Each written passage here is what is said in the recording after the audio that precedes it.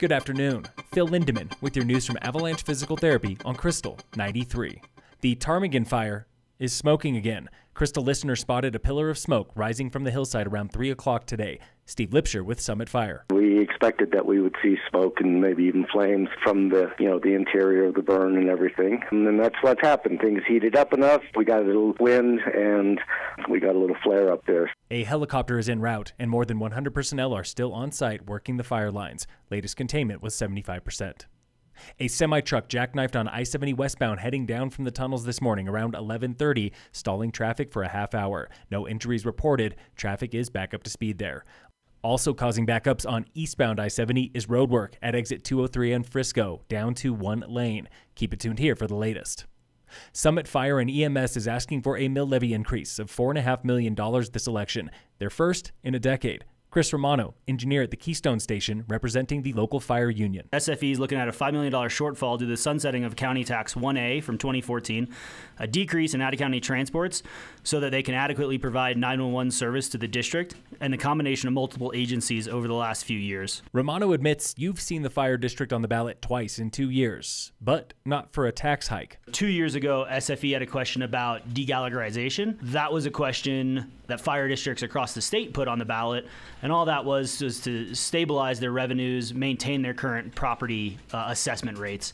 Last year, the question on the ballot was specifically for Copper Mountain voters, and that was a vote for inclusion. Cash would go to a potential new fire station in Silverthorne and shoring up the cost of absorbing the ambulance district. Lou Larina, lieutenant at the Dillon station. The majority of our calls are medical in nature, and so bringing in that ambulance service we feel was the right thing to do for the community.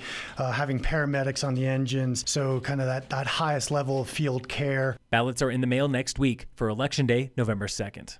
The Summit School Board election is making waves on social media, like a post on the group Summit Together asking for thoughts on the candidates.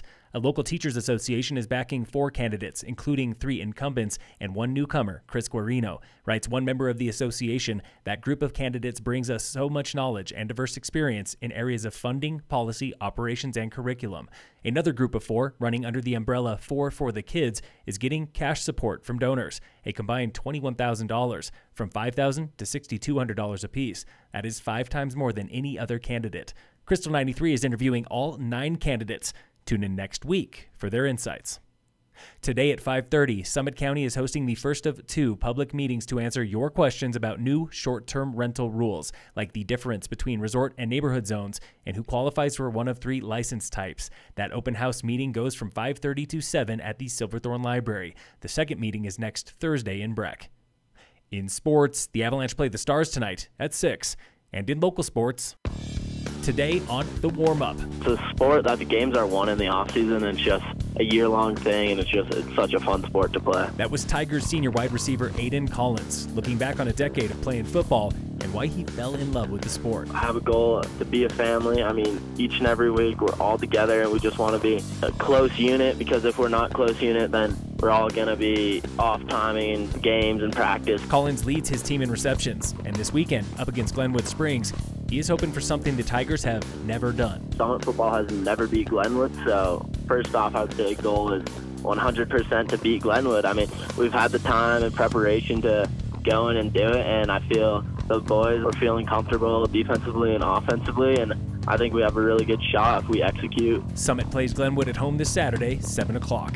This has been the warm up with your Summit High Tigers, brought to you every Thursday and Friday by Alpine Lumber, Sauce on the Blue, and I Furnish in Frisco and Kremling.